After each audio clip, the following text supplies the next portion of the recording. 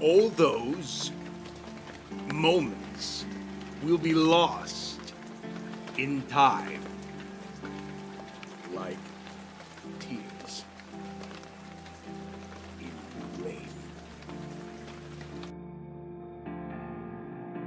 Hey, it's Cosmo from Sonic X. I'm 4Kids. Are you 4Kids? 4Kids TV, the place to be. This is my emerald! There are many others like it, but this one is mine! Without me, my emerald is useless. And without my emerald, I am useless! I just wanted to know where Froggy was. Oh, sorry. But with that being said, can I see the emerald? Die!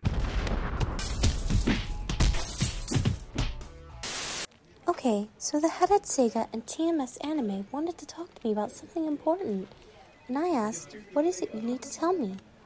And they said they're gonna kill me off in Sonic X, and asked if I was okay with that. And I thought they were joking, so I said, that's lame.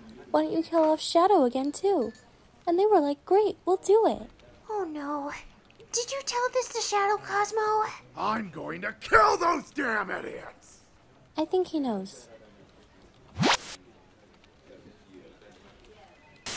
And remember, if you vote for me for your next president, I'll go after Dr. Eggman!